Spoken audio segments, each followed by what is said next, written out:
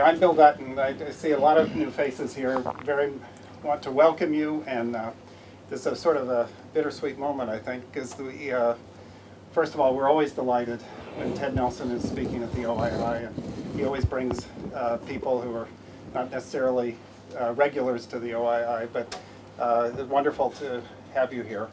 Uh, but it's also a sad occasion because Ted is going back to the states at the after the at the end of the month uh, with Marlene, and uh, we'll miss uh, both Marlene Mallicoat and Ted Nelson.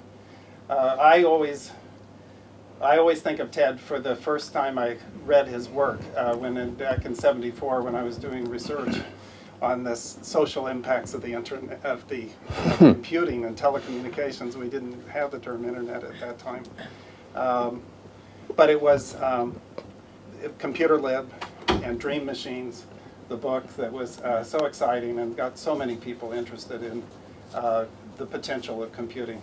And um, but if you ask Ted, and, and as all of you who know Ted, you realize that he never talks about that. He's always talking about his what he's doing lately. You know, most academics you have to push them to say, "What are you doing? What have you done lately?" Ted is always working on the next thing and uh, it's always been great to have him at the OII. He always forces us to think about how the web could be better, how the internet could have been better, uh, and that kind of uh, analytical skepticism about what we take for granted as, as uh, uh, the way in which the web or the internet should work, has will work, uh, is, is something he brings to the OII. We'll miss that. hopefully you'll continue to be involved with the OII even from the States, and that we'll get you back on occasion. Sure. But uh, now I will get out of the way. We have two hours, I believe. Yeah. But we have a reception at 5 o'clock, and so hopefully we can have informal discussion. At the end, if we have, if we have time for questions, uh, we do have, we'll have a mic, and so we'll pass that around. Okay, Good. Ted? Thank you you. very much.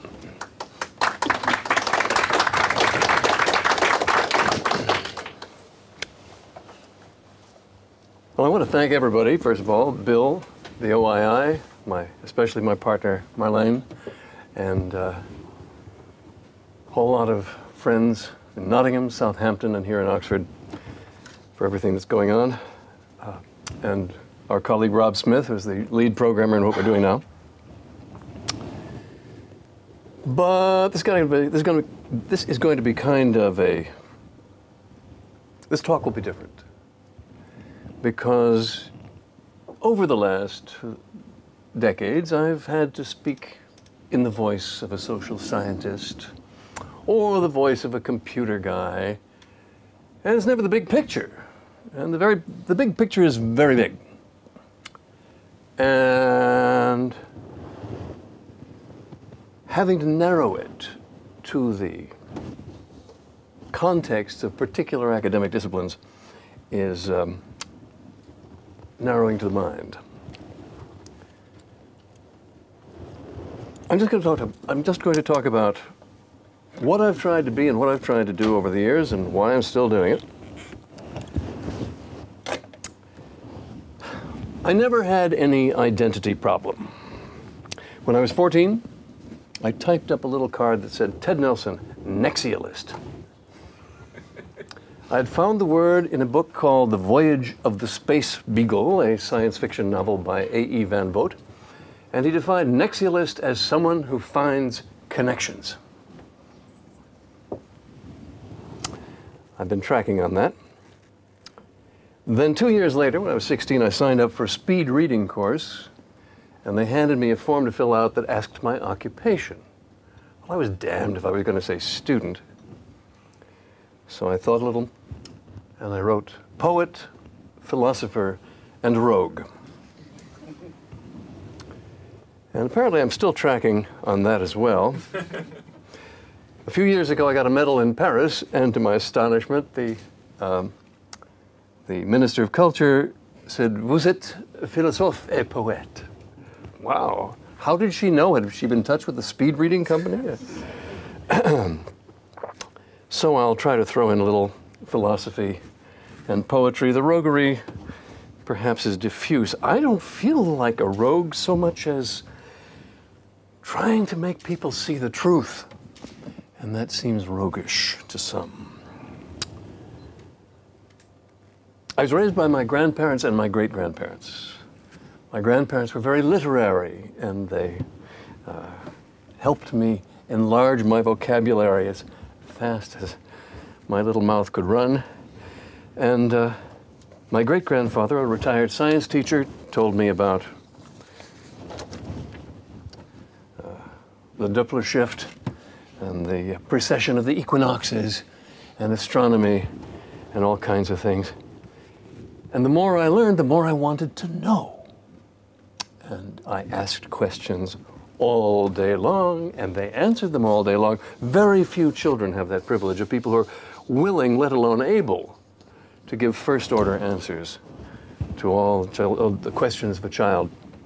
I remember when I was visiting in rural Georgia in 1963, and some child asked, Gee, I wonder how far away the stars are. And his mother said, Oh, how you do go on with your silly questions. And that made me very sad. Now,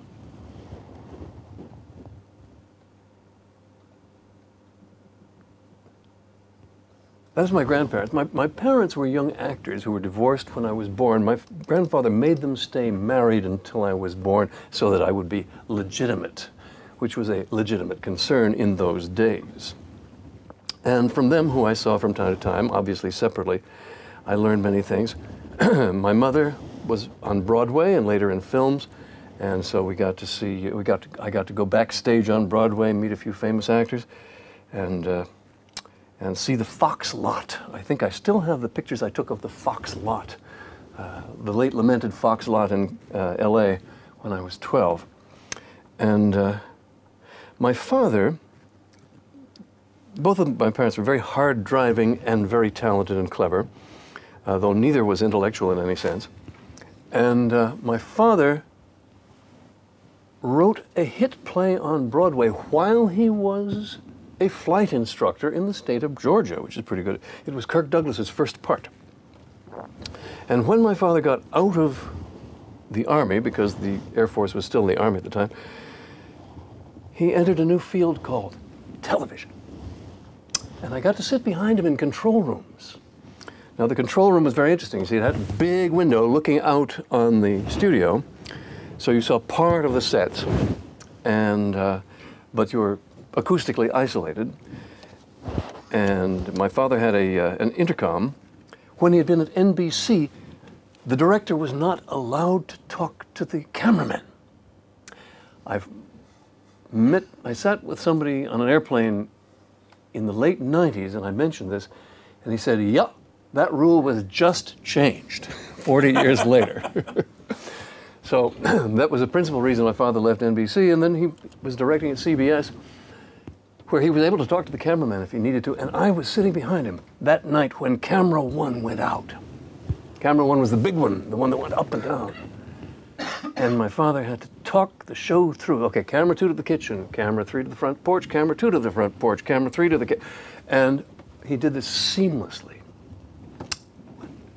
When it was over, the control room erupted in applause. The producers, the, the, the lighting guys, the, everybody there, because he had saved the show. And it wouldn't have been his fault if he hadn't. but uh, you couldn't do that at CBS, but he had the presence of mind. He, was, he had both the military orientation and a showbiz orientation. So the main thing I learned was that new media are born. Television was being invented. So, for example, the month or the year they invented split screen, NBC got a patent on split screen, which meant that the scan lines from two different sources could be broken in the middle, so you'd have a picture from one camera on the left, picture from one camera on the right. Trivial now. This was a big deal in 1949 or 50. So my father had a show. He had a weekly heartwarming family comedy show called Mama. on one of the shows, he had Mama and her, one of the aunts talking on the phone, and they, it was split screen. And immediately he got a call from his friend at NBC saying, How did you do that? Well, of course, the actresses were standing six inches apart. was, he was also a prankster. after after um, after each dress rehearsal, there were what were called producers' notes, and that meant that the producer or the producer's representative came and bothered the director with a long list of junky fixes that he wanted put in before the actual show, which would be two hours later. And that would mean sitting with the actors and going through them all. They would promise to do it, and blah blah blah blah. So, uh, from from sources I've seen, this is still a nuisance. So my father would always play a prank in the dress rehearsal. Sometimes a little one, sometimes a big one. He had me on a show uh, in the summer of '58 on a shipboard romance. It was.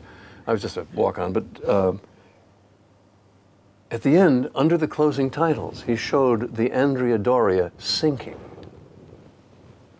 implying that the whole ship had sunk and obviously changing the story somewhat. So he then started his stopwatch, as he liked to do when he played his prank, uh, to see how long it would take the producer's representative to reach him, and then and then would allow himself, would allow the producer's representative, representative to plead him out of this uh, this uh, inspiration for five or ten minutes until finally he would agree not to do it, after which all the other notes were forgotten. it was a very, very useful technique. Anyway, so, so new media were born. They were changing all the time. And this was obvious because, of course, even in the 20th century, we'd had telephony. Well, that was before the turn of the century and, and the others. But movies and telephones and radio all grew to their new height in the 20th century, and television was just one more of these. And then, the, then at the same time, 47, 48, 49, out came the long playing record, which then which changed the, uh, which went back to a previous recording standard of 33 RPM, and out came the 45 RPM single, and competing with one another. So all these things were changing. It was perfectly familiar to me. Now, You could say I was always a, a, bit sophisticated. For example, when I was 10, I could have told you who had coined the words chortle, tintinnabulate, serendipity, and I wanted to know everything about words. I wanted to know every word in the language. Of course, that's systematically impossible. But uh, I wanted to know everything about every subject. And I didn't accept the way things were taught or explained. Now, wanting to be wanting to know everything is perhaps a youthful attitude. Perhaps it's a way to keep on looking young. Perhaps a way to live forever. I don't know. But where will you learn everything? Surely not in school. In my harsher moments, I used to speak of schools as a system for systematically destroying people's minds.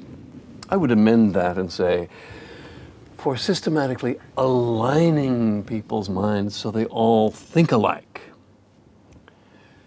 This helps communication. It fosters the ability to work together. And it crumples originality. It crumples the ability to see and observe.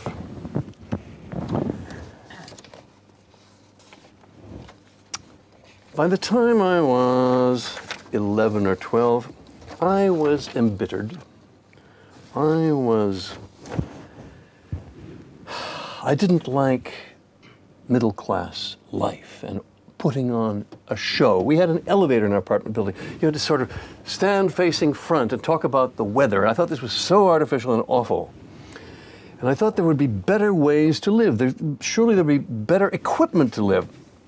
One of my first, first things I sent for when I was five or six was a projector gun. I was so excited. I thought I'd have a whole movie theater, and it was this little dopey thing that that, that had 16 millimeter film and a, and a double A battery. it was hugely disappointing. Then, when I was, uh, I guess, seven or eight, I became enthralled by a product called Kangaroo Spring Shoes. They had long springs. and obviously, this would allow me to take great leaps and to go down the block at double the speed. So I put them on and immediately sprained both ankles very badly.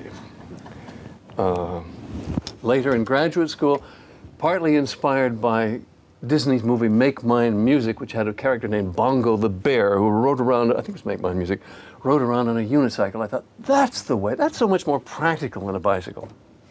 So in graduate school, I bought a unicycle, and it's preposterously hard to ride, and, uh, and you can't carry anything. And uh, it, was, it was a, well, I wouldn't say it was a mistake, it was a learning experience. But it was, uh, you know, I later, when I first visited Doug, Doug Engelbart, one of the people in his office uh, persuaded me that skateboards were the way to go. So I got a skateboard when I was 40 and uh, learned to do that a little bit. And that wasn't very practical either. I keep looking for the, the, the, the they now have electric skateboards. She won't let me get one. They have a remote, would you believe?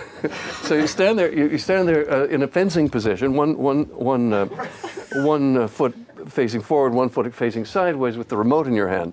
And it has, as you know, electrical vehicles have tremendous acceleration. So, uh, anyway. When I was 10, one of my great heroes was Frank Lloyd Wright still is. And I heard about his house, Fallingwater, which is built around a stream. And I was just thrilled by this. I thought the stream went through the living room. I only found out a couple of years ago, nah, it just goes around it. uh, but uh, but it was so I was very disappointed. But from that, I got to thinking about having an underwater house and getting all enthralled about that. So it, it's always seemed to me that things would be so much better if they were different. Now that the, the, the, the ratio of change to improvement there is, is what's to be considered. Movies were my religion. When I was little, we lived in Chicago, right next to a block from the Esquire Theater, which is still standing as one of the great Art Deco palaces. And there I saw the first run of Bambi, second run of Snow White, first run of Fantasia and uh, a couple of others. And Disney was my god. And I think he's now considerably underrated in the, in the backlash. But studying movies and the effects and how they were made, I thought about it all the time. When I was 15, I got my own copy of the American Cinematographer Handbook. And that was about the year of a film called when Worlds Collide. When Worlds Collide is, was incredibly moving to me because it told of a perilous moment where the Earth is about to be hit by a great celestial object. Well, this was considered fantastical then. Now we know it happens from time to time. In fact, it was going to be hit by two. The first one would be the warning, which would cause tidal waves, and the second would destroy the planet. And so a crash course, a crash project is, is, is created to create a breeding planet, a, a breeding population off the planet. We must escape. And the calendar is a character in this movie. Every day the page turns, one day closer to the end. And there's a great effect where they flooded Times Square in the, um, in the as the first planet went by. How did they do this? Well, they made a miniature Times Square of all the shapes of the buildings. They painted the blocks, they painted the blocks of these buildings black. Then they released a large amount of water, I think it's probably the size of this room, into that space.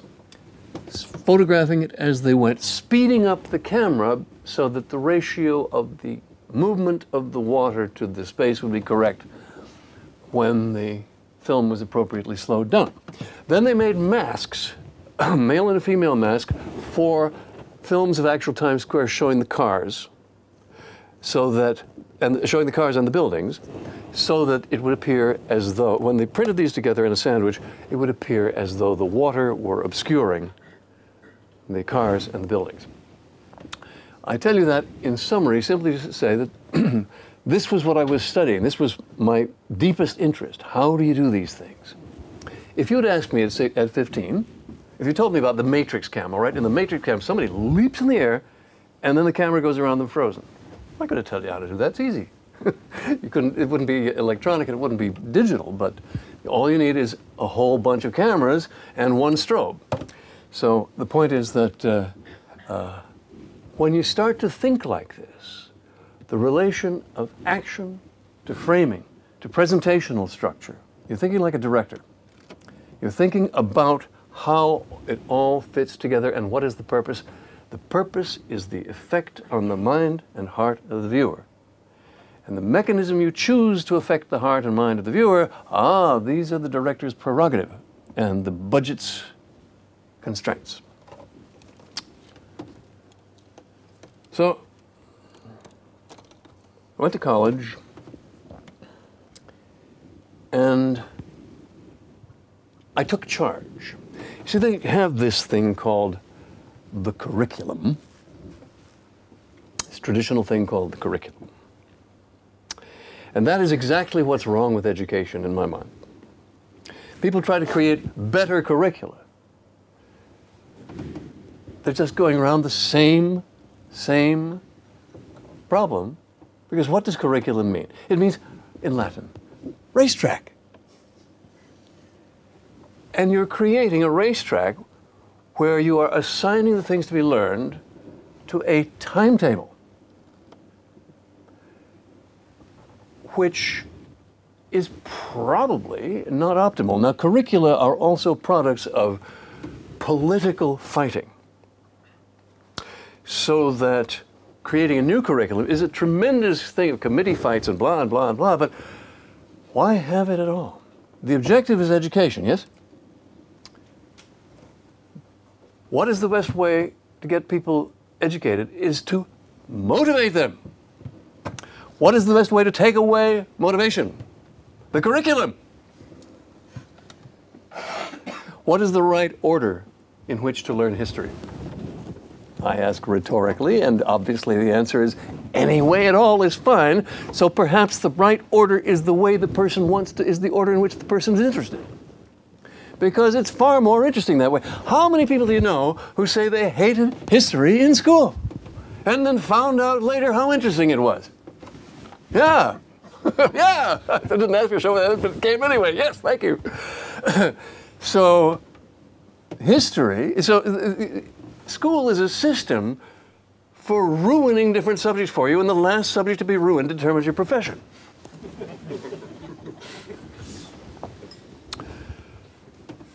so, why should this be?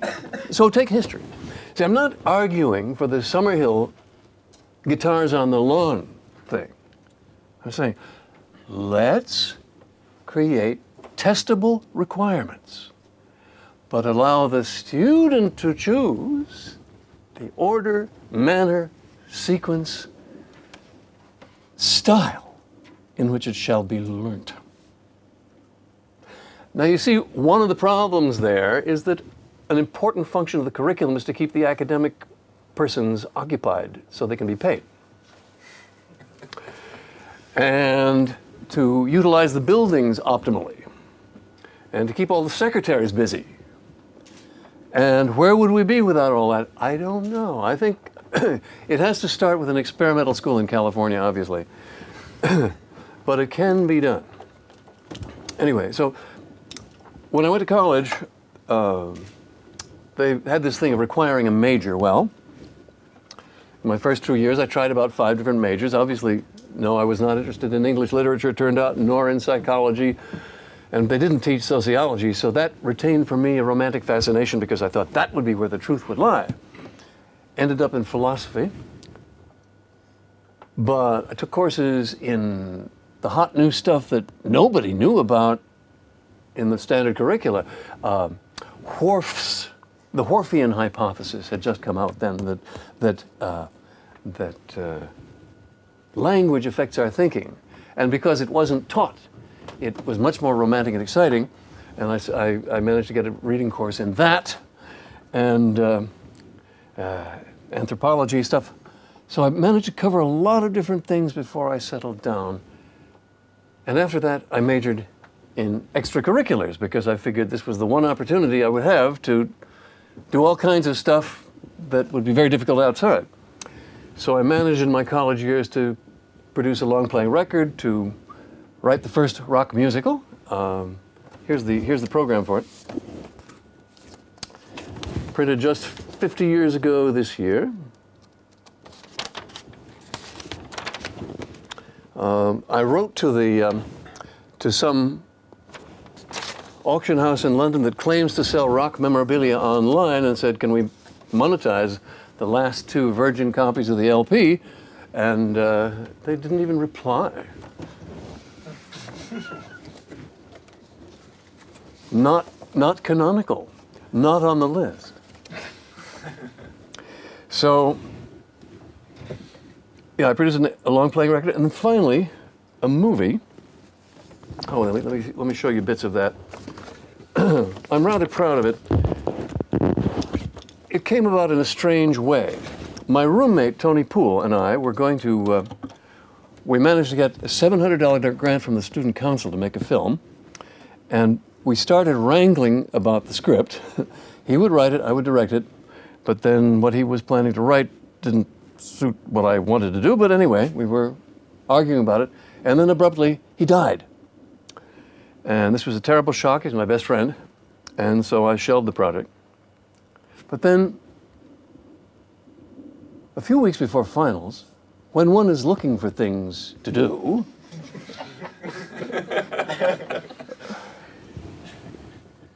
it occurred to me I had 700 bucks to make a movie. He would have wanted me to.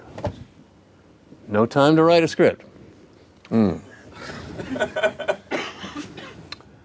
Okay, I'll make it up as I go along. And since we'd be fitting the soundtrack on afterward, I'll just have the actors say, parp, parp, parp. And that'll be funny, like Huckleberry Hound. Well, I like what I did, and it's very atmospheric, but a lot of people can't relate to the parp, parp, parp. I was thinking I'd put it on the net and, and make it seem as if it were scanned at a very low rate.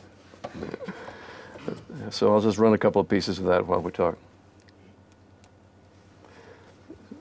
So it was atmospheric. And the interesting thing was that a character emerged out of it and a uh, uh, that that wasn't me and it wasn't the actor. It was somebody else.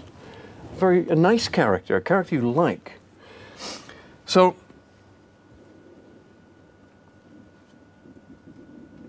The other thing I started doing in college was taking notes, taking serious notes.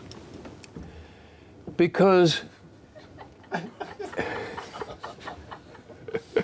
I'll, let it, I'll just let it run for a minute.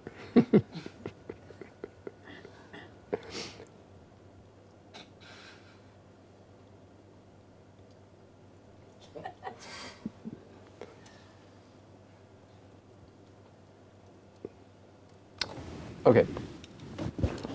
I'll have to stand over here so you'll look at me. the, the, other thing I started doing in college was, was uh, taking serious notes because I, I saw that other people vaguely remembered things and half remembered things and were all wrong about lots of facts. And I said, I don't want to be that way. I want to get things right. I want to remember things correctly. And so uh, I started taking serious notes on every subject that interested me. Little knowing where, where this would go. So by the end of college, I had, oh, that many notes on four by six cards. Little did I know. And I've gone on doing that because it's a way of putting stakes in the ground for learning different subjects. If you remember one thing, that's more than remember nothing. Remember, remembering nothing. And if you remember several things about a field, well, that begins to be a little something of an impression. It's, it may be trivial, but it's as much as lots of other people know about the field. And from time to time, I've been very pleased that I knew things other people didn't. One time, I actually told, told a master of an Oxford college something he didn't know about his own field. So, um, this is a pleasure, and it's fascinating to know things. It's just fascinating. But the more you know, the greater the boundary of the unknown. So you never feel like you know everything. It's exactly the opposite. Knowledge is fractal. There are big lumps and little lumps, and they're all shaped the same with uncertainty at every edge. Information is fractal. Disagreement is fractal. The whole world of ideas is this whole bunch of stuff that doesn't have any structure. People put hierarchy on it since Aristotle because it's convenient or because they want to. But the actual structure of the ideas goes in all directions. And that is the fascinating part. Now, for example,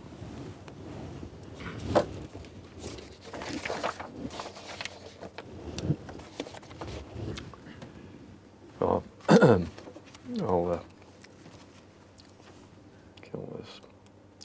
Now, I'm going to sing you a song from the from the musical because it's so. I, I only noticed lately how well it expresses academic mores. this is a content free song about a content free uh, uh, seminar paper. It can be seen as looked upon from different points of view. It can be seen as looked upon from different points of view. I will try to clarify this and thereby to verify this to whatever small extent I may be able to so do. Ooh, ooh. This outlook in the setup of the concepts I express shows a tendency to take us in an infinite regress. Since the framework of the viewpoint somehow seems to have dissolved the bifurcated status of dichotomies involved, it can be seen, etc. The division of the subject is connoted by the way that the categories here may lead the neophyte astray. So let me state a fact the which you yet may know not of, as I have stated earlier in what I said above. It can be seen as looked upon from different points of view. It can be seen as looked upon from different points of view. I think that I have proved it in a manner that behooved it, and in doing so have shown that I was able to so do. Ooh, ooh.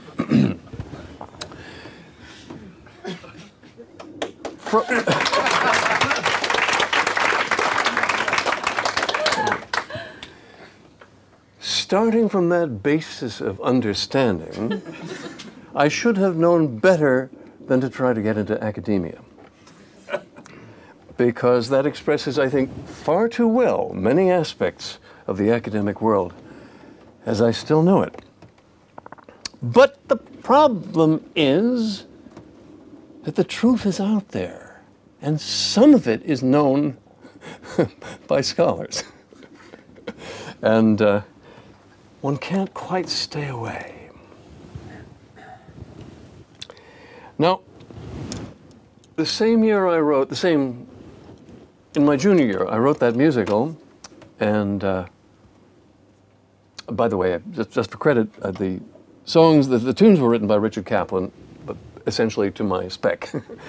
uh, but I wrote and directed it, and it was much too long, and unfortunately, the cast outnumbered the audience. Having 75 people in the cast was not intelligent.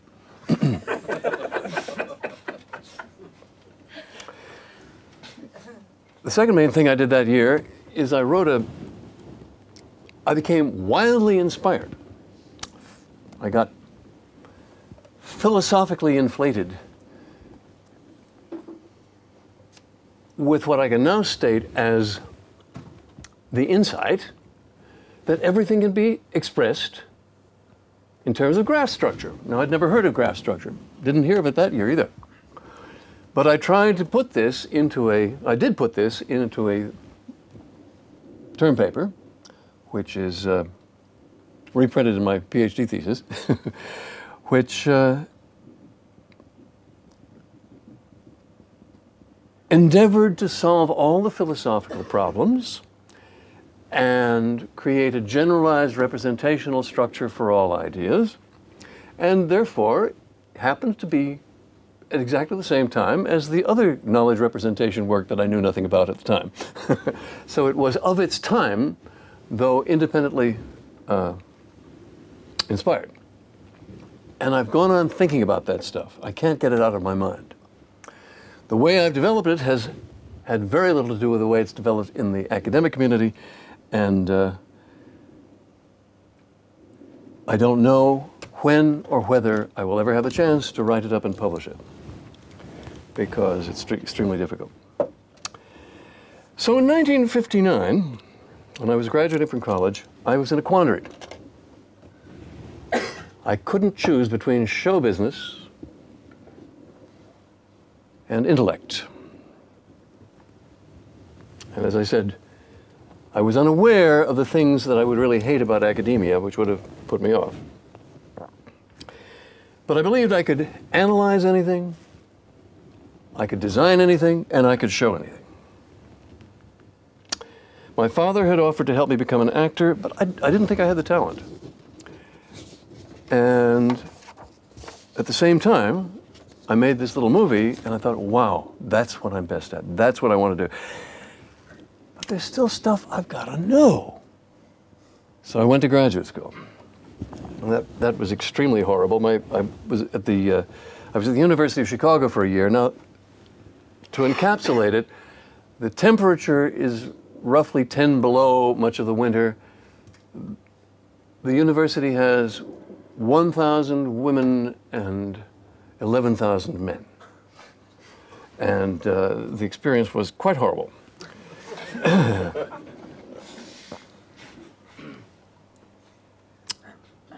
Second year, I went to Harvard and I took a course in computers. Now, I ask rhetorically with your heart in show business and your head in academia, what do you do? Answer you invent hypertext and hypermedia. because I looked at them, here they were presenting this thing as a calculating engine and then saying, well, we can also do text analysis with it. I said, wait a minute, wait a minute. A program can do anything, and you can put a screen on it. That's it. That's it. That's the future of the human world. Human world. Human world. Human race.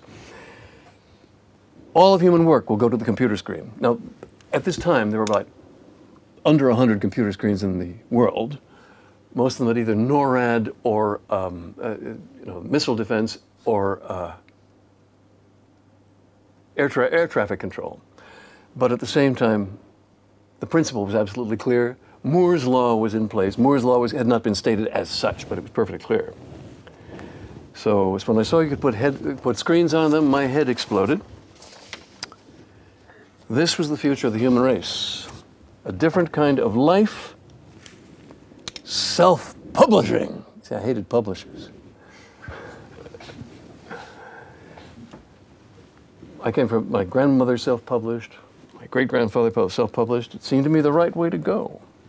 William Blake self published. Hey, come on. The, the, the, um, the uh, I later worked for a big publisher, and they, they said, well, self publishing is vanity publishing.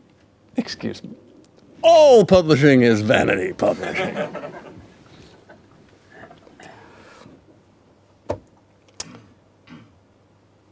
so I thought, since the computer screen is going to replace paper in every aspect,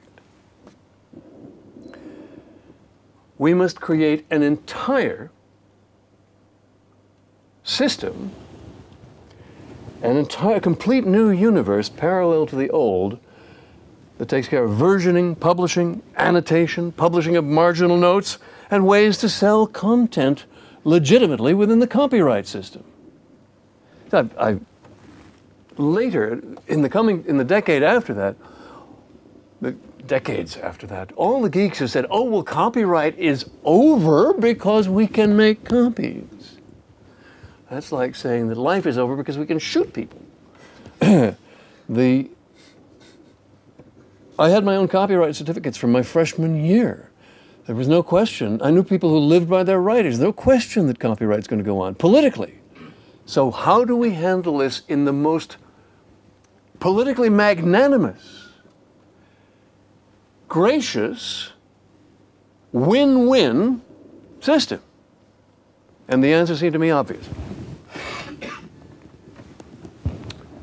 You pay not for a whole book at a time, but for the next screenful that you send for. And who gets it? Well, obviously, the, some of it has to go to the service provider. Again, I was guessing as to what the form of transmission would be, but since there would be digital transmission, that was, that was assured. Since there would be digital transmission, some of it would go to pay for the digital transmission, and some would go to pay for the document to those who stored it and to those who created it. But instead of the, the book being the unit, now we would go to different units. But not only that, just the next screen full as you continued in the document.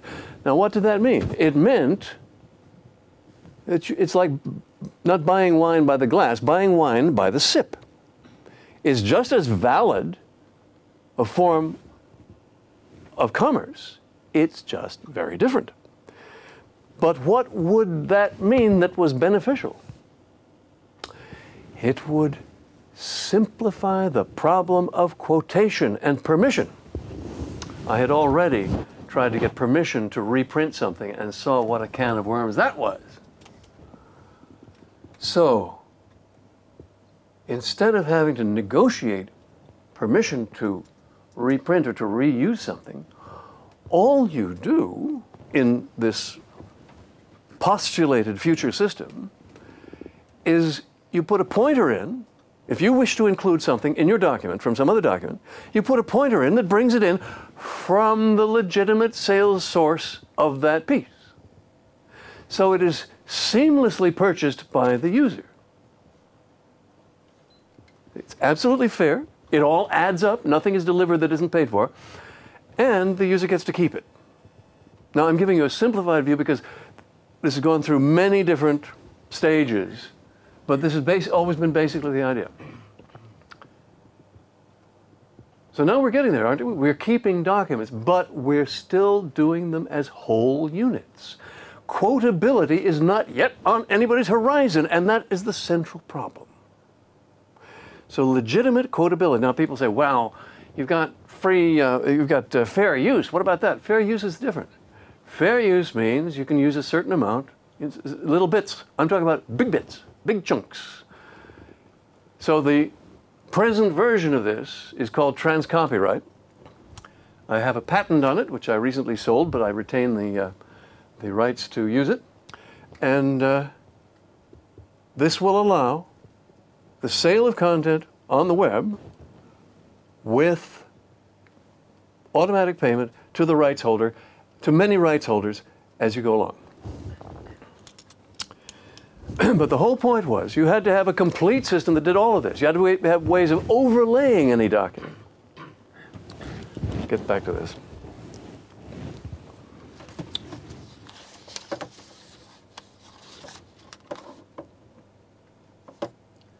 So people would say to me, for the next two decades, they'd say to me, But are you a computer scientist? What has that got to do with it? this is all obvious and in fact, the computer scientists, a lot of them are clucks, and obsessed with completely unimportant things. What do they teach them? For, what, is, what is the tradition of teaching first in computer science? in computer science, recursive programming, which is absolutely useless. But it's a way of saying we're scientists here. We don't care if it's useful. And the computer scientists I talked to in 1960 and after, they couldn't get it on their horizon that, we, that people would be reading and writing from screens. They'd say, oh, well, we'll, we'll look for relevance of, um, relevance of queries. That was one. That was, uh, what's his name at Harvard. And uh, I, am not saying this, this, is illicit work, it's just that uh, it wasn't getting to what I thought was the center. And so every computer scientist I talked to about this during the 1960s came up with some bozoid response. and so uh, it's not about computer science. Uh, it's not about computer science. It's about documents. It's about civilization, for God's sake. It's about what kind of a civilization we're going to have. And right now we're living. Calm down.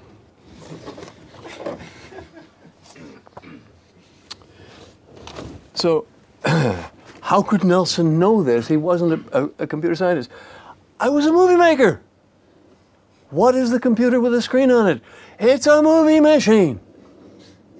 It's a special effects box. okay, how do you do special effects? Well, you look at all the possibilities uh, cameras, framing, uh, da da da. What's the cheapest way to make a monster? Have a, have a picture of a person reacting. Ah! okay, so these are all options. Now, what does, the, what does the computer do on the screen? It goes down a list of shapes and letters and puts them on the screen in the places you've specified. That's all it is, but entangled with further and further complications. So this is not a hard concept, or it wasn't a hard concept. For, it was a hard concept for a lot of people, but it really wasn't, you see. So it's no, this problem of putting documents on the screen was the, problem, the same problem as flooding times square. You figure out how to do it and you do it. So,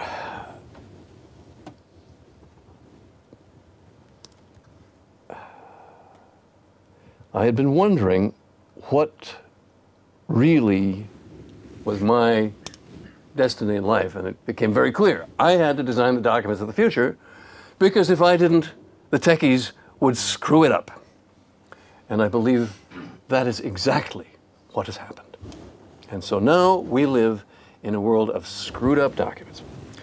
So my plan was to, uh, was to build a company selling personal computer software, a plan that was nicely uh, carried out by Steve Jobs and later by Bill Gates. Uh, I was not able to get leverage, uh, partly because I couldn't uh, persuade anybody to help me because I didn't have a computer science degree, blah, blah, blah. Also, you see, I had a director's attitude. And that's not, that's still culturally unacceptable in the computer world. They say, well, programmers, they're the designers. Nah, come on. Very few programmers can, can design uh, systems for people. It's entirely different. It's entirely different ability. And the director is not acknowledged except at Pixar. But most computer companies do not see, most computer projects are run in this herding cats mode with nobody uh, taking a strong hand. And this is why they hate Steve Jobs, because he takes a strong hand. and that is why the Macintosh is so well designed and, the, and Windows is such a can of worms. Because Steve Jobs takes a very strong hand in the design of stuff, his stuff, and Steve Jobs is a movie director. So, not that I use the Macintosh, nor, but uh, let me point, point something else out. Jobs and Gates packaged the existing stuff. They packaged the prevailing paradigm. Hierarchical directories, short file names, programs running on files. Um, then when Xerox PARC created today's modern GUI, better called the PUI or PARC User Interface, they added windows and icons and desktop and clipboard. But they were packaging stuff that other people had created. Unfortunately, I was trying to create a different world myself and have done so, but at great, great cost and with great, great difficulty because of the problem of getting leverage.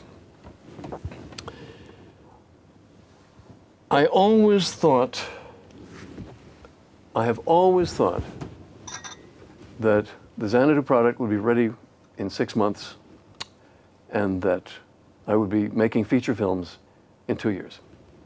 And that has always been the plan. I never made another plan.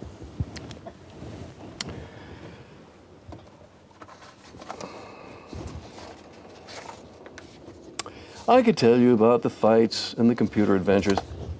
I'm writing a book called Geeks Bearing Gifts How the Computer World Got This Way. To counter the myth of technology. By the myth of technology, I mean the myth that IT, information technology, is some sort of relentless force moving with its own steam according to determinate principles. Whereas, in fact, what we see here today, all that crap that's out there, is the result of passions and fights and packaging and conventions and could be entirely different, except that it isn't. The fact that Microsoft, well, let's look at, uh, let's look at this, the history of text systems to take a random example. Not random. By the way, I will tell you my greatest out- outrage here. This was called cut and paste until 1984. When I learned to write in my teens,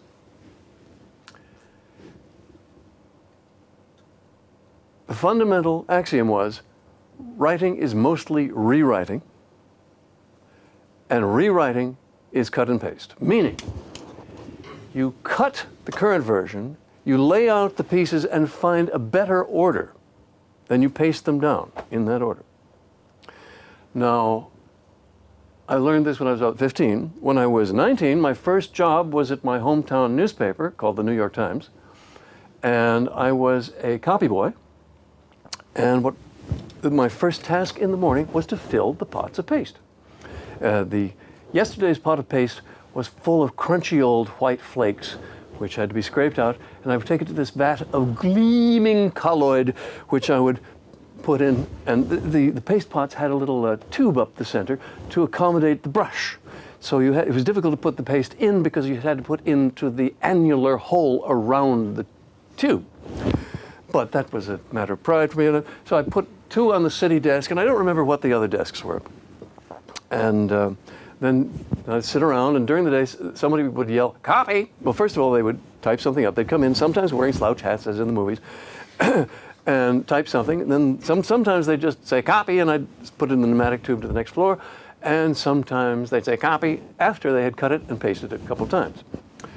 So that's the real cut and paste. Pardon me. Now I have to call it deep rearrange because in 1984 the Macintosh came out and they changed the meaning of the words cut and paste. So that cut meant hide this and paste meant spit out whatever you're hiding wherever, I'm, wherever you're pointing. And I've actually had Xerox PARC alumni. I have friends from Xerox PARC, but I have rather a negative sentiment about the place. I've had Parkies say to me, well, it's the same thing. This is, isn't it amazing how people can believe metaphysical things? Uh, like, like, uh, how, anyway, this is not the same thing as hide this piece with Control C and uh, uh Control X and uh, paste this thing with Control V. Not at all. This is a number of strips of paper attached to a backing sheet. And to achieve the same effect, you see, the problem is being able to see all the pieces at once. The parallel viewing of all the portions of your work. One of the higher functions of the human mind, rather than hide and plug, as represented by these two functions. But what, why do they call it that then? They call it because they created this abominable mechanism called the clipboard, and to justify it, they gave it the name clipboard. See, it's just like an ordinary clipboard, except you can't see it. It only holds one thing, and it just, when you put something on it, it destroys the previous contents. In every other way, it's exactly like a physical clipboard, except there aren't any other respects. So this is pure propaganda to make you accept this abominable mechanism. And the, uh, so then they called the functions of it copy, uh, cut and paste, copy, cut and paste, to make it seem as though somehow it was replacing a previous function, which it does not do, and you cannot get software that allows you to do that. Now, I found I, I, I use TextPad pulling from one uh, from one um, version to another, which doesn't do the same thing because it does not give you the overview. You want to be able to shrink the text, zoom in, zoom in around, crawl around, and pull it across. Okay. End of that sermon. So here is the history of text systems from my point of view. Make that a little larger. Sorry about the cruddy slide. I did this in Leipzig last week. there are basically four people I'd like you to note. Doug Engelbart, myself, John Seybold, and um, Bob Taylor. Right. So, Doug Engelbart is the great visionary of the computer field. In 1957, he had his great epiphany. By the way, both Doug and I read an article called As We May Think, which was published in 1945 by um, Vannevar Bush, who was the President Roosevelt science advisor. And Bush talked about what he called the Memex, which would be a box that would hold all of mankind's writings. And of course, it would all fit in microfilm under your desk. but you'd be able to make trails of the different significant objects and side trails commenting on them. And Doug was inspired by this, and I think I was inspired by it. But um, since it came out when I was eight, I'm not dead sure. now, it has been taken as the beginning of hypertext. Well, I, I, won't get to that one. Okay, so I should have had that up here. So Doug Engelbart was thinking about all these things, and in 1957 he had a vision of people being able to share work, share work on screens, share documents on screens, and he saw this as, quote, raising collective IQ, meaning the ability of people to work together because the whole group is smarter. Whereas I've always believed that the IQ of a group was less than the IQ of any person. But he, at Stanford, Stanford Research Institute, not part of Stanford University, he got grants from this guy, Bob Taylor. He got grants and built something called NLS, which stood for Online System. He invented, as everyone knows, the mouse. But that was only for one hand. In the other hand, using Doug's system, under the other hand, you had a five finger keyboard. So Doug still works on his NLS system with a mouse in one hand and the five finger and typing with the other uh, seamlessly, not having to move to the to a regular keyboard, regular QWERTY keyboard. Unfortunately, well, we'll see what happened. So I had my ideas in 1960 which were entirely different. What I called, I came up with the word hypertext about here in 1963. But to me, it meant something very different from what is now called hypertext. It meant being able to buckle documents side by side. It meant marginalia. It meant uh, publishing mechanisms, an entire suite, an entire suite. I'm, I believe you can have the paperless office. It's a commonplace joke that, oh no, you can't have the paperless office. Paperless office like the paperless toilet. Oh no. But anyone who compares paper, uh, an office to a toilet shouldn't be designing software. the, uh, the point is, I believe you can have a paperless office, but not if you imitate paper. Get it? if you imitate paper, it's hopeless. it's totally inferior to the way things are now. and uh, oh my. Okay, so the third party of special interest is John W. Seybold. John was a, a Quaker and he also a fellow Swarthmore graduate. Uh, he was a peacemaker. Quakers are peacemakers, and they know how to find the good in everyone. And, and, John was a very nice man, and was a labor negotiator, and worked more and more in the printing and publishing industry, and got to know that. After which, in 1963, he visited a printing plant in Florida and he had his epiphany, which was that you could typeset by computer. Because up to this time, everything had to be re-typeset every time. Every time you wanted to publish a Bible in a different font, it had to be keyed in again. Uh, and he naturally saw something wrong with that. And he created a company called ROCAPPI in the 60s. stood for research, I think research on computer applications in printing publishing industry. Uh, and uh, became the essentially honcho of fonts. Now over here is Bob Taylor. Bob Taylor was at ARPA, which was the Defense Department uh, Advanced Research Projects the Defense Department was basically what the Army wanted, what the Navy wanted, what the Air Force wanted, and ARPA. so those three services had their own missions in mind and were fighting with each other, ARPA was supposed to look ahead. ARPA IPT put up the money for Doug Engelbart. They put up the, uh, the money for the internet when it was just a gleam in somebody's eye, and a lot of other stuff. Now, this is incorrectly represented in the presses as always having sinister intent. Not at all. They were just trying to find the hot buttons. They backed Ivan Sutherland's original sketchpad. They backed lots of things with no rem remotely military application that just might come in handy someday, and of course have. Some, some of them. Many have not. But you don't know. You've got to kiss a lot of frogs before you find your prince, as the saying goes. And so one of the frogs was Doug Engelbart, and the, uh, pardon me, that's, uh, I love him dearly. He just got married. He's a wonderful guy. So one of the recipients was Doug Engelbart and the NLS system, and you should really watch his demo at the 1968 computer conference because that was the high watermark of his work.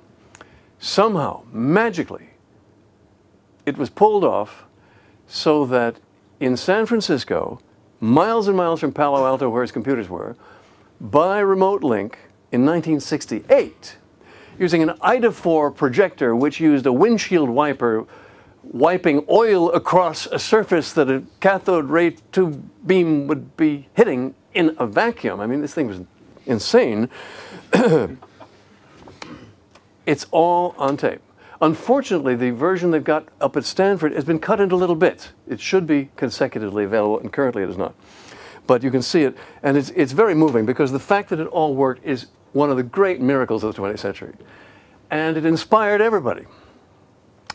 From there, the story gets sad because Doug lost his funding, and some Jasper talked him, talked his boss out of Doug's office, and uh, things have gone downhill. Bob Taylor went to Xerox. Now, in 1973, Xerox was the apex, it was the Google of that day. Wildly successful, beyond their wildest dreams. Chester Carlson had demonstrated electrostatic copying in prototype in 1937. These patents were sold to a company called Haloid, which made photographic paper. Haloid put, I think, $50,000 a year into this project for 15 years. People sold their Haloid stock thinking this is going nowhere and then say, point to their front porch that they built with the money and said, that was my million dollars in Xerox, would have been my million dollars in Xerox stock. Because in 1962, Haloid changed its name to Xerox and brought out the 914 copier, which allowed people to copy things and it was revolutionary. I was in Miami at the time, and you had copy centers springing up. And you know, two middle-aged guys would rent one of these things, not knowing what would happen, and the lines would be around the block to make copies. No one had ever seen anything like it before. And uh, Xerox had a tax on everyone. I think they had like one cent per copy throughout the world. And uh, they thought the patents would never run out. and they thought that, the, that the, uh, they would never be superseded by Japanese companies. But at any time, anyhow, they were swimming in money at this time. So they set up, some far-seeing guys at Xerox set up Xerox Palo Alto Research Center on the West Coast. They set it up on the West Coast because it was as far as possible from Xerox upper management. this is what they say. And um, uh, not, not merely my own cynicism. And uh, Bob Taylor became head of this, or head of the computer branch. We don't hear much about the other branches. Xerox PARC was a very big operation. What we see is what they created basically in the computer branch. And Xerox had been burnt on computers. They rashly bought a company called Scientific Data Systems, changed its name to Xerox Data Systems, said we're going to beat IBM in every department, named a department after each department at IBM, and proceeded to lose billions of dollars. So they thought, well, we better stay away from computers. Now, what Taylor was going to do, he knew would involve computers, but they weren't allowed to buy any. So they had to build them. They built them themselves. And uh, they built especially a small machine called the Alto. And this was everybody's dream. You see, here were us guys outside, starved for equipment, starved for anything, imagining what it would be like. And here, every one of them had a screen on the desk. They would, uh, Alan Kay, who was their un, unofficial ambassador, would go around saying, Well, of course, we've got the top 10% of all computer scientists. Everybody else loved to hear that. and, uh, and we have all these great computers, and we're using a language called Smalltalk, which is designed for children. and we laugh now, but we believed it then. and, um, and everybody was very envious. And a lot of things happened. So, a team, a bunch of people from Doug Engelbart's team, the ones who were sharing ideas, sharing work on screens, went to Xerox PARC and replicated the NLS system there. But competing with that was the influence of John W. Seybold with the fonts. And you see, Xerox was making laser printers, but the engineers would create the hardware and nobody knew how to hook it up to a computer. So they had to do that. So there were two main thrusts. Larry Tesler, I believe, encouraged Chuck Simonyi to create an editor for the screen, which is first called Bravo. It is now called Microsoft Word. And a guy named John Warnock created a system called Interpress, which was creating a common software interface for all these different printing machines that were coming out.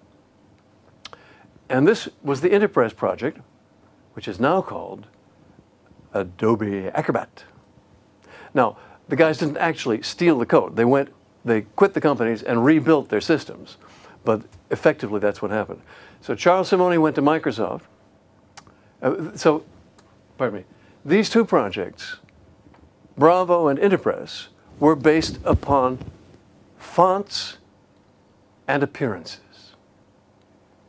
And the phrase they adopted was, what you see is what you get, which they abbreviated WYSIWYG. Now, according to one source I found on the net, that term, what you see is what you get, was actually from a comedian named Flip Wilson, who would portray a dame named Geraldine, on, a brassy dame named Geraldine on his show, and she would say, What you see is what you get. And uh, John Seybold, watching this TV show, said, Ah, that's the concept I was trying to get across. And um, he took that motto to Xerox, uh, Palo Alto Research Center, and that's what caught on. So Doug's stuff was ground into the dirt. Serious text work was lost in favor of lipstick. Fonts are makeup as distinct from the tools that authors really need. Now, what about this guy? Well, here I was, and they didn't pay any attention. I spoke at PARC, but they didn't pay any attention to my ideas. and the first leverage I got, or thought I was getting, was a project at Brown University called Hypertext Editing System, or HESS.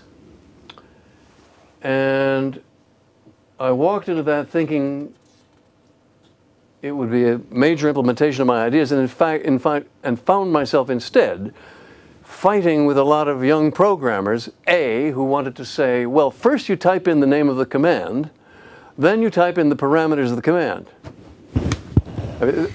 See, they had, they had an IBM 360 with a graphic screen. That was, that was the big deal. But they had these outmoded ideas. So fighting them out of that and talking them out of that took a great deal of time. And finally, the whole system was dumbed down to one-way links branching from particular phrases in the text, which was very radical at the time. And I thought this would be temporary. Well, my, as my grandmother said, nothing endures like the temporary. And as far as I know, that the Hess system became copied as HyperCard and note cards for the CIA done by, done by Xerox Palo Alto Research Center, and um, a number of others which I don't remember at the moment. and finally became the design of the World Wide Web. So if you, I have a letter, I had a letter in New Scientist in 2006 apologizing for any part I may have had in the creation of the World Wide Web because it so violates what I believe in. And uh, in other words, we've, we've reduced hypertext to one-way links among rectangles smothered with decorations and no serious ways to annotate, no serious ways to reuse content, no serious ways to bookmark, all, in the, all lost in this format. So that is the story of text systems from my point of view. The uh, PARC work, by the way, went on to the first, at PARC they created the PARC User Interface, or PUI, which first appeared to the public as the Macintosh in 1984, and then went on to become Microsoft Windows and was copied by everything else. However, uh, PARC had also created something called the Alto, which was a very, very expensive machine uh, for secretaries that no boss would buy his secretary because he'd rather spend the money on himself. of course, they spend that much now, but they do it in little pieces, so that doesn't seem like so much. I, uh, I don't know when I wrote this. Oh, darn it. Something's opening. I thought it would just go over to. Right. Okay, this was a, um, this is just happens to be a, a, note card that I wrote myself around uh, in the 60s, I guess. This is the top, the HT stands for hypertext, TML stands for terminology, and saying that structure politics is going to be the big thing. Well, is it ever? Because you see, document structure is political. Every major format has an interest group, has committees where they fight about what, should, what it should become. So that's, what, that's, that's our modern world now. But it's the structures are Adobe Acrobat and uh, Microsoft Word. Incidentally, so Microsoft Word was created by Chuck Simonyi. Some of you may know that uh, Richard Dawkins here is the Simonyi Professor of Biology. he got very, he, he did very well with that. and here is what today's specifications look like. Specs what? I'll tell you. Microsoft has announced, Microsoft in its beneficence has announced that they're going to open the standard of their document into an XML-based format. And this is widely viewed with suspicion because parts of it aren't documented and are hidden inside Microsoft software. But the, uh, the line that's supposed to fool the public is it's now an open standard. This is the, now is the current Microsoft standard just printed out. I got this from somebody on the web named uh, James Cox. so that's what, uh, what, that's what these things are like. So what of my Xanadu project? Well, first of all, where did it come from? Where did I get the title? In fact, oh, drat. Sorry, here it is. the original Xanadu is a real place. Many people think it's fictitious, uh, like Toyland or Shangri-La. No, here it is. It was the summer palace of the Emperor Kublai Khan, about 300, uh, 300 kilometers north of Beijing. Here we see the, a, a, large rectangle, a smaller rectangle, and the, and the outline of what once was the palace. And there we are, we're at Google Maps, and if we go smaller, one jump, two jumps, three jumps, four jumps, five jumps, and Beijing is there. So it's a real place, but why use it as a title of a, uh, why use it as the name of a product? Because it stands in English literature for the most magical place of literary memory. In Coleridge's poem Kubla Khan, In Xanadu did Kubla Khan a stately pleasure dome decree, where Alph the sacred river ran through caverns measureless to man, down to a sunless sea, etc. this embraced a romantic vision. And uh, he, was, he got it from reading the account by Marco Polo of his travels to this actual place. So uh, I chose it, and oh, also in the, in the writing of this poem, I kill that. In the writing of this poem, um, ah, in the writing of this poem, Coleridge said he was interrupted by a person from Well, Porlock is somewhere in London now, but it was a town in those days. And uh, this person from Porlock bothered him for an hour, and of course he forgot the rest of the, po- the rest of the poem. Fortunately, it stands complete as it is. and uh, so I thought of what I was trying to create is the magic place of literary memory where nothing is forgotten. And it's my registered trademark. People say, well, you know, it's also a trademark in other industries. There's Xanadu hotels, Xanadu uh, massage parlors, Xanadu clocks. But uh, I pay a certain amount of money to, to maintain it as a trademark for software. Now, what is it exactly? I can show you now. Shall I show it to you now?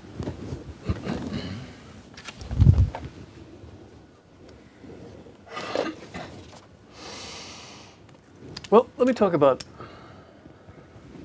some of the other adventures before I get back to Xan- the Xanadu project. For a time, I had I was a partner in one of the first computer stores in Chicago.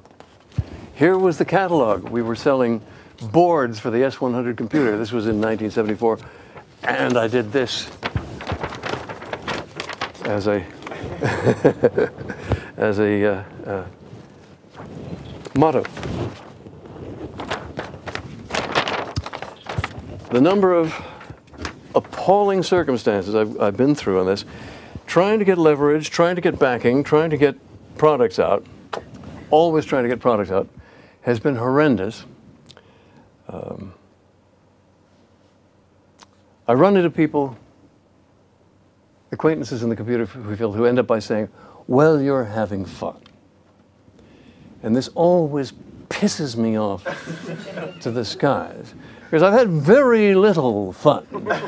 what is what I do is has not been fun at all, but it is a um, it, there's some kind of a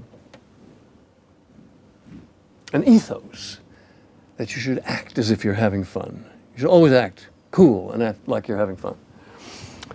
So I encapsulated that in a song I wrote, which I can't find, but it's in, somewhere in my notes. But uh, the punchline was a song called Bonnie and Clyde. You remember Bonnie and Clyde Barrow? Uh, would send snapshots of themselves to the press, taunting the police. They called it a game, and they ran till they died. And I ask, aren't we all just like Bonnie and Clyde?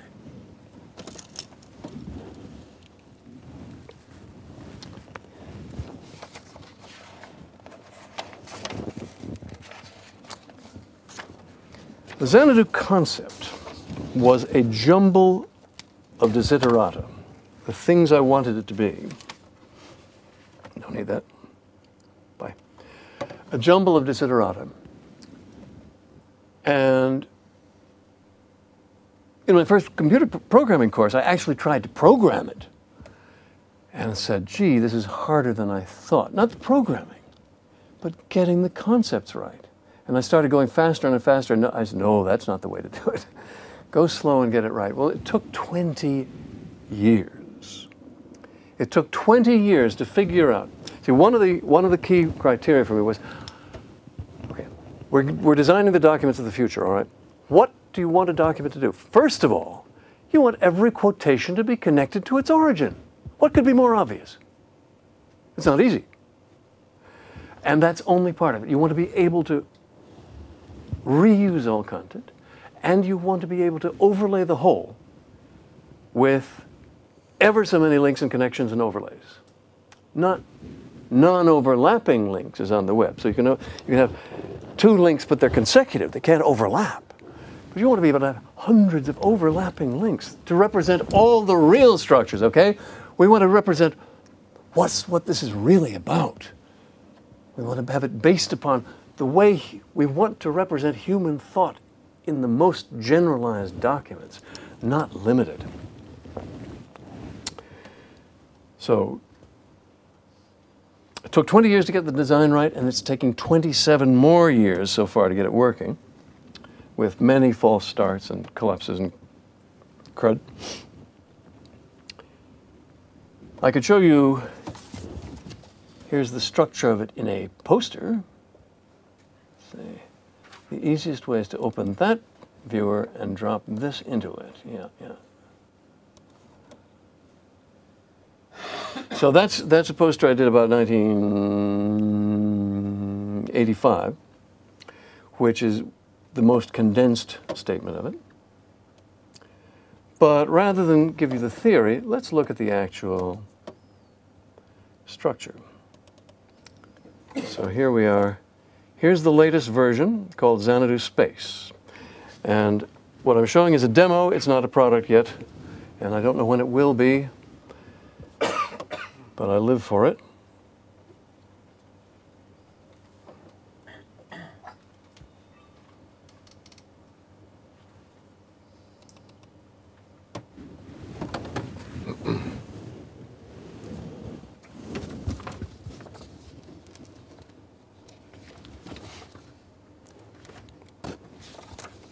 While that's doing its thing, there we are. Okay. This is still the best looking version we have, uh, although it's a little, it's been several months old. So here we are in a, an 11 page hypertext in 3D. Now the 3D is not logically required, but it's very helpful. Oh, let's, let's fly through the connections. That's nice. With a fresher machine, this would uh, be smoother. So you see that we can have a profusion of connections, but on the other hand, it's hard to follow them. And that's why we have two pages up front. That's what these guys are for. Oop. So these two pages up front, so I don't want to overshoot. Good. these two pages up front are the current page, which is, has larger type, and a companion page. And with this method of presentation, we can show you one connection at a time, even though there are thousands of connections on top of each other. So right now the connection we're seeing is between this transclusion quotation, in the beginning God created the heaven and the earth, and its origin in Genesis of the King James translation. Now, there are two types of connection in the system links and transclusion, which is a vital distinction to make. Transclusion means the same content across document version boundaries. So quotation is an example of transclusion. Now, I mentioned Vannevar Bush before and his uh, piece, As We Will Think, As We May Think, Everyone takes that as the origin of links. It's not. It's the origin of transclusions. because each of, each of Bush's trails was the same content uh, put on the trail. This is a crucial distinction in the Xanadu world because the two are implemented in different ways. We can make the companion page into the current page and back again. We can go down to the next connection here we have Adam and Lilith immediately began to fight. Some, you've all heard of Adam and Eve. Some of you have heard of Adam and Lilith, but we won't get into that right now. so that's another transclusion. And now we get into the flinks. We're saying flinks rather than links for a very simple reason. Because if you say links now, people think you mean HTML links, and our links don't have any relationship to HTML links. Our links float on top, flinks, floating links. you can have as many of them on top of each other as you like, and they can be of many different types, and you can see both sides. So, any other questions? so, uh, so it's entirely different mechanism. And that's it. That's all this system will do as soon as we have it as a product, and which I hope is really soon. Now, they've recently invented things called blogs and wikis. And all of that is just built into the Xanadu structure. It's just built in. So did we invent blogs and wikis? No. The web disinvented them. they took out that capability, so, some, so it had to be reinvented as a separate mechanism. You see, all the different structures that, that are happening now, blogs and wikis and trackback and whatnot, I don't know any, or at least the ones, I'm, the ones I've seen lately, are all built into our structure. And yet the structure is incredibly simple because it's just, the, the structure of the document is just two things. A list of contents and a list of overlays. That's all it is. Now, the specifics will kill you, of course. As, as the Quakers said, as the Shakers said, God is in the details. Uh, recently that has been uh, demonized to, into God. The devil is in the details. I prefer the original because if I'm an atheist, but I do believe that God is in the details.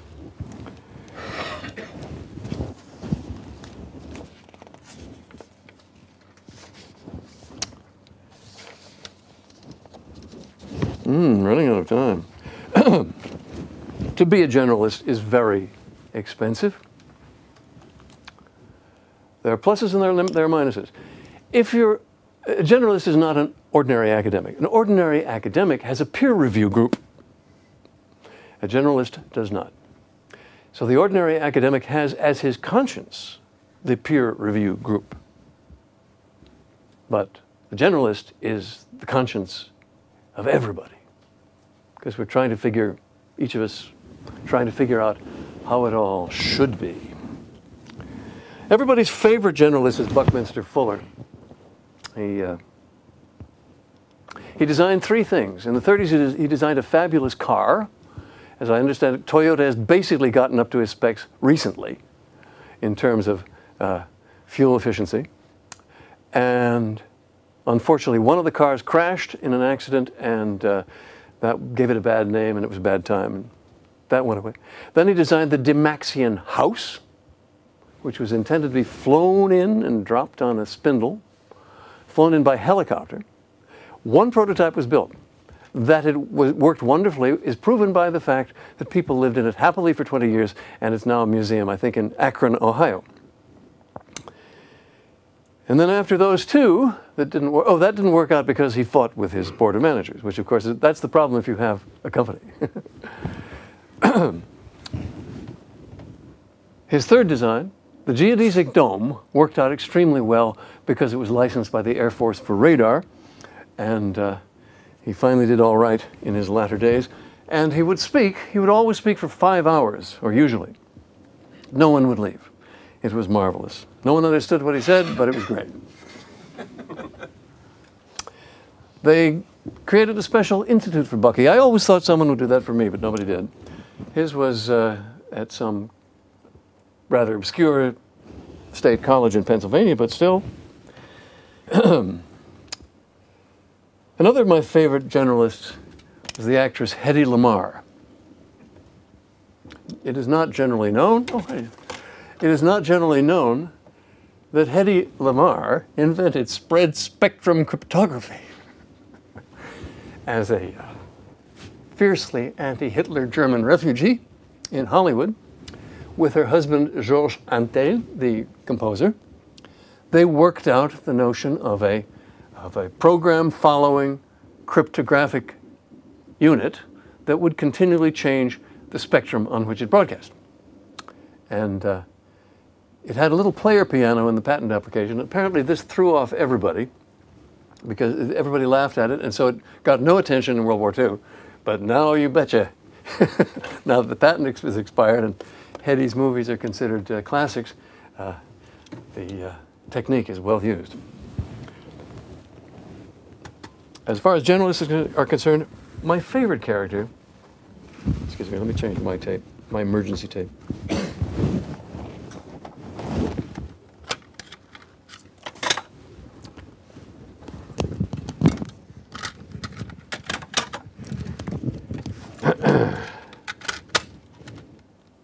The issue is seeing. And educated people lose the ability to see. If you mention a subject to somebody, you can tell they're educated if they say, Oh, I don't know anything about that, I never took it.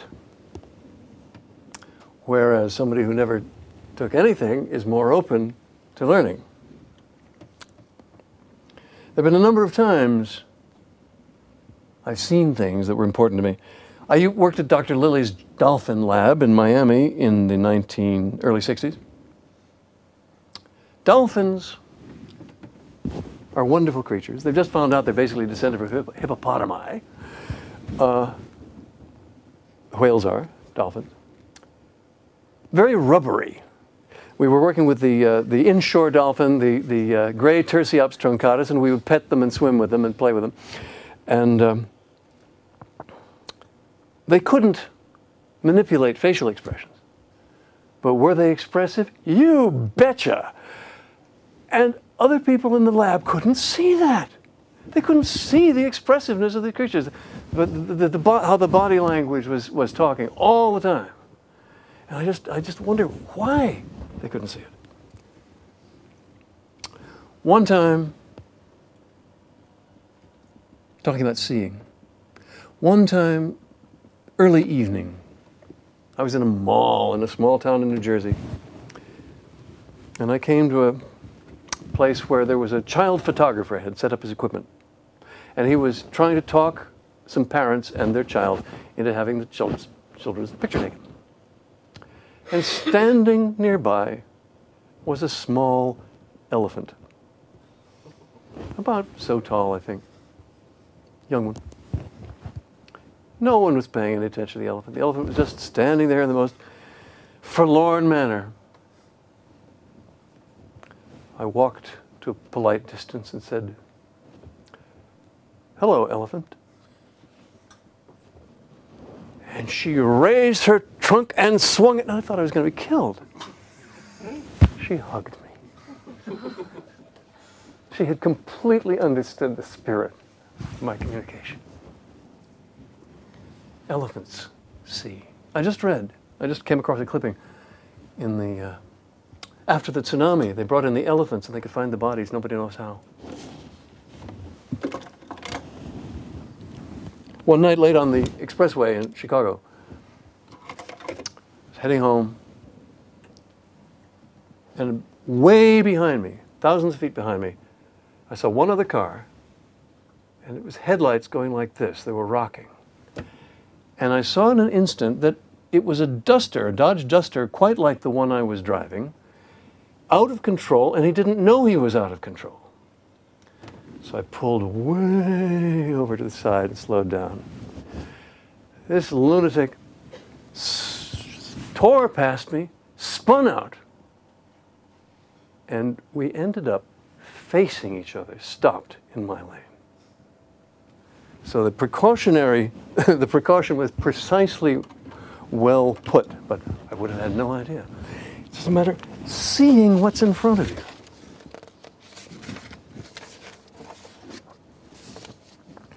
There's a lot more to say here, but you guys are really. I was going to talk about general schematics, my system of idea structures, but you know what? Even if, even if there were a lot of time, it wouldn't uh, be easy. Talk a bit about paradigms. Paradigms, everybody talks about paradigms. I went to a California workshop once. First question was, who here knows what paradigm means? Half the hands went up. Who here has heard of Thomas Kuhn? My hand went up. uh, I didn't mention that I'd had dinner at his house recently. Is uh, I came to know him through the strangest means. I hung out with a com- kids' computer club where, in fact, they knew more about technicalities than I did, and so I was learning from them. And one of them was a young lad named Kuhn who was 12, and uh, gave me some very good advice, and turned out it was Tom Kuhn's son. I had dinner at their house, and they had a knitted sampler, uh, uh, embroidered sampler on the wall saying, God bless my paradigm. so I asked Kuhn, you know, I had additional terminology for the enhancement of the concept of paradigms. And I asked uh, how he felt about that. He said, oh, do anything you want with it. I've run it into the ground already. so paradigms have a life cycle. Uh, a new paradigm is born out of some new concept or maybe a piece of an old one. And it gets bushy. It gets loose. For example, Christianity in the first century supposedly was very loose, very loose. They, have uh, I forget the name of the lady who's been studying it, but they've found a lot of old stuff in jars uh, from early feminist versions of Christianity from the first century. Then comes the lockdown, uh, which happened with the uh, Council of Nicaea, where they decided what, where Constantine said, okay, it's time to simmer this empire down. Let's have one religion. It'll be Christianity. Uh, what is it? So hastily they had to figure out what Christianity was, and they came up with the, uh, uh, the Nicene Creed, which is uh, awfully strange. and then they had to revise that. And so that was the beginning of the Catholic Church, essentially. But now, uh, after Protestantism has run for a few centuries, and you have, and California is at full rate, you have New Age, hundred flowers Christianity just the way it was back in the first century. So this is the paradigm cycle, part of it. And then, the, then there's the paradigm crash, which means that the paradigm can no longer, oh, the paradigm lock, which means that it can't move very often because there are too many specifics. Then the paradigm crash, where it all comes crashing down. An example would be Judaism at the diaspora. In the diaspora, the Romans, for it's not clear what reasons, threw the Jews out of uh, what was then Palestine, or and uh, the results are with us. The problems of that are with us yet. But Judaism became simplified. Before that, there was a priestly class and a whole lot of complications, and it became simplified to the Torah. Uh, the, uh, a rabbi is not just a wise man, and you need 10 guys for a, 10 guys to hold a service, and that's it, pretty much. And that new streamlined system, that, so we became the paradigm. So we may, we may call that paradigm neoteny. Neoteny is a term in biology when something new regrows out of a simpler form. And so these, so these are the cycles of the paradigm. It may be that we're in for a paradigm crash Right now, today, some major economic guy said people should not panic, which, of course, is the trigger for panic. So, tomorrow or the next day may see the big slide. Let's open it.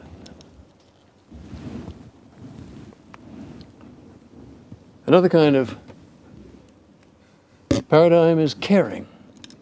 The economists talk about utility as though your choices are some simple numerical thing, whereas in fact, the package of someone's caring involves people and ideas and places and favorite foods and memories. And the process of paradigm crash there is called mourning when something important is lost. I'll sing a, I'll sing a little song about that.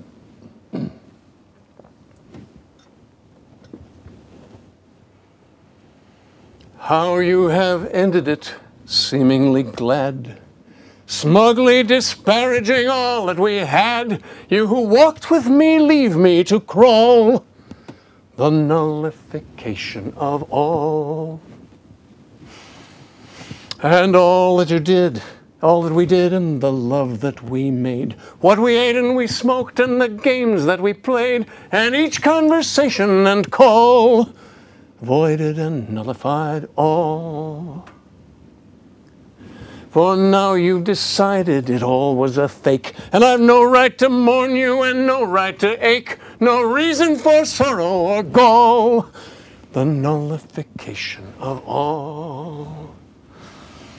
Your love was a scaffold I took for my use, enjoying the view but ignoring the noose. What now do I ask as I fall? The nullification of all. A year has been lost, but it seems not a friend. God damn you and keep you, and this is the end. And this ballad shall finish my wall. The nullification of all. Wanted to get that one in. I like it.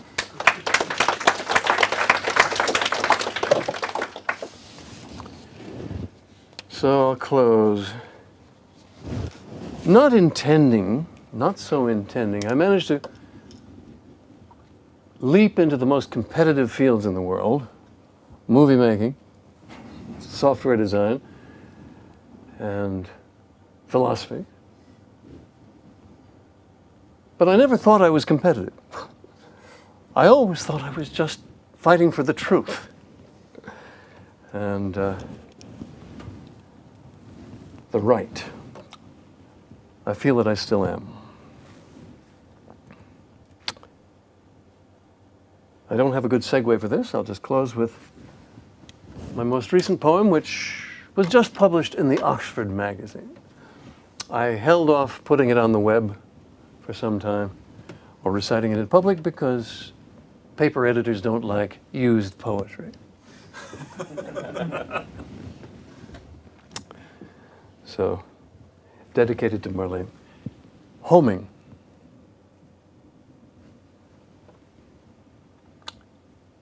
The spermatozoon had little to go on, tunneling into the mist, but a faraway flavor to seek and to savor of spices contrived for the tryst. Her chemical gradient, welcoming, radiant, summoned him to her embrace, just as something between us, some beacon of Venus, has beckoned me here to this place where you open for me, receive me, adore me. How hither came I? Who can tell? Like each nano ancestor who, finding her, blessed her, I've followed so blindly, so well. Thank you.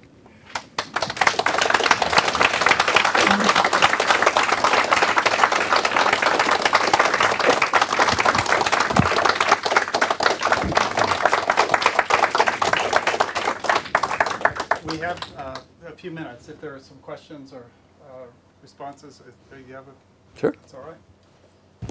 I, I was just wondering. Um, I encountered Xanadu before the web existed, and, and I've been following it in one way or another ever since. It's very exciting. But when I look at the web, what- seems to, to, to explain its incredible fertility and its its speed of growth and its size and its and its variety seems to be precisely that Tim Berners-Lee excluded all that stuff about permission and uh, uh, uh, about both sides of the link and so on. And what what would we have had? What would have become of the web if he had included all that? First of all, if I'd had my way, it wouldn't have been a web. it would have been something different. The um, uh, first of all, I think while Tim is well, what Tim did is important. Not enough credit is given to uh, Bina and Andreessen, who created the browser as we know it. So I think the web was defined really by two students at the University of Illinois. Um, the reason it caught on is like karaoke; everybody can do it, and the fact is that it was done um, very simply, but everybody I knew in the hypertext racket said, "My God, that's crap." I remember that period, and that, Yeah. and they were all wrong. no, they were right. They were right, but they were. But the point is that yeah, the embellishments. Well, the point is we now have we now we now have a bushy paradigm where there's all kinds of enhancements and complications built on the regrettable structure. Yeah. and um, and uh, but there's always room for more formats. That's that's how I see it. Okay. Thank you. Is that it? Oh my goodness. Ah, good. Yes. Um, I don't know if I really need This that. is not a microphone, but uh, so that we can hear the question. Okay. Um, looking at the demo of uh, Xanadu, that page, I have I've never heard of it before, so I'm c- coming totally fresh. That's the new version. There've been a lot of versions. Um, reminds me of a little bit of something you may have been familiar with at your first job at the New York Times. I work at a newspaper, and when I started there, uh, type was set. We had moved out from the hot type to cold type, but long strips of uh, of uh, type came out with the things on it. And looking at your eleven pieces there reminded me of the type waxed and put on uh, on boards, you know, before the the printers cut them and, and moved them around. I wondered how much of your Waxed. I don't know about the. Oh, okay. well, th- this is how. Oh, I mean, you're talking about linotype, right? Linotype. Right, linotype. Yep. It's waxed and, and, and moved around. I'm wondering about the the sort of the inspiration for that that look of it, uh, and also what exactly how it would work. I mean, do you see it? Is it a is it a word processing type of thing? I mean, how would a, a writer, if you want to sort of capture literature and memory, how would a writer actually interact with it? You type in it. You type into it, and you pull you pull quotations. So that instead of having to, uh, you, you pull the you pull the quotations across from from from the source, and that, that beam then follows it to show where it came from. But uh, but instead of instead of cut and paste, it's pull across. But yes, uh, see all these terms that came after my work, like word processing, are things that shouldn't have to exist independently having having one simple system for everything seems to me the way to go. And uh, the Xanadu thing is to be the Xanadu concept is to be to do the best you can for the content itself rather than the decorations. The decorations you can always put on top, but in that damn fool HTML thing, which I, we don't blame Tim for, he took he took what was around, but mushing the type fonts and angle brackets into the content seems to me barbaric. Why not have them on the side? So could, you can mark up the same content in more, than, more ways than one. So that uh, so have a clean data structure from which you can do much more. Yeah. In the back.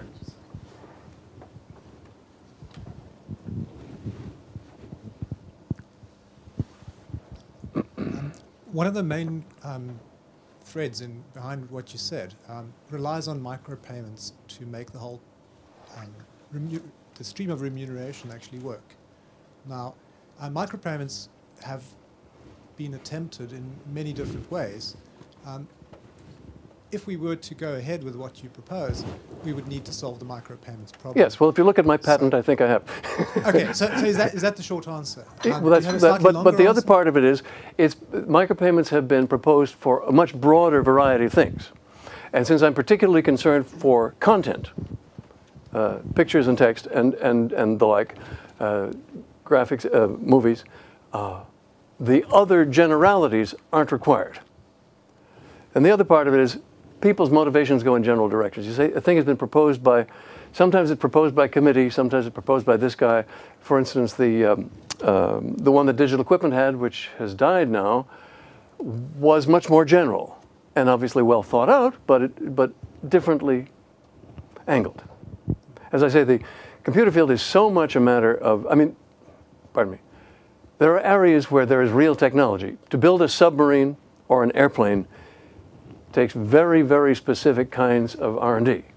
But software can be any damn thing, and it's based upon, as I said, passions and uh, fights and packaging and conventions. And those are the real, the real things. So, so what, is, uh, what is HTML? It's a, it's, a, it's a package.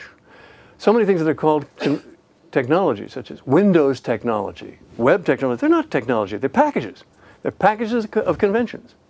And uh, uh, obviously they are, they are technical, but it is the decision of what to put in the package and how it should look, which is the heart of the thing, not the particulars.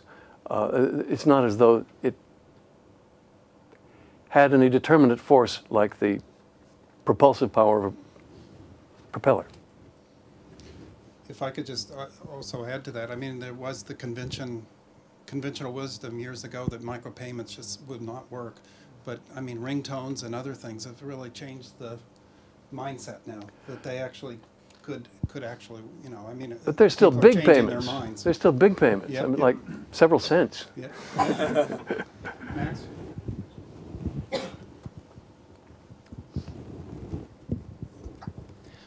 Considering the limitations of the systems we use at the moment, what have you found to be the best way to organize your notes?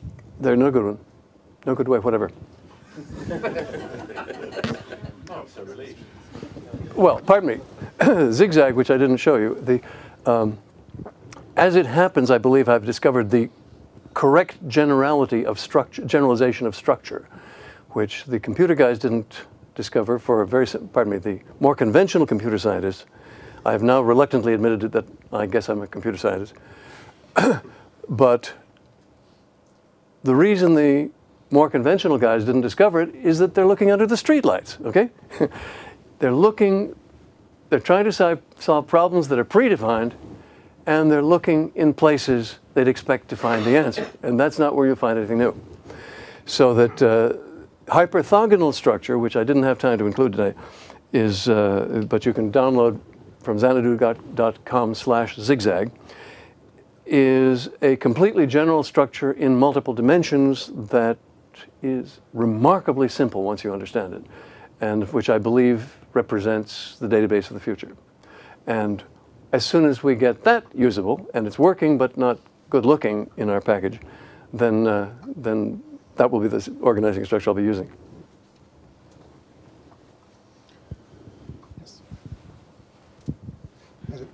You advocate remembering and taking extensive notes. Don't you think that sometimes it's good to be able to forget and even to the point of planning obsolescence in data structures? Uh, David Mary has just asked about the benefits of forgetting. And I say, well, you know, we all take different stands, and that's not my style. uh, you had a question also? We need a better technology for the microphone.